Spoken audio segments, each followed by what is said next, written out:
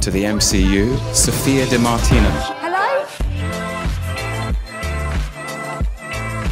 Shit! Well, it's not cold today. it's not Fixie. Somebody suddenly got very cocky.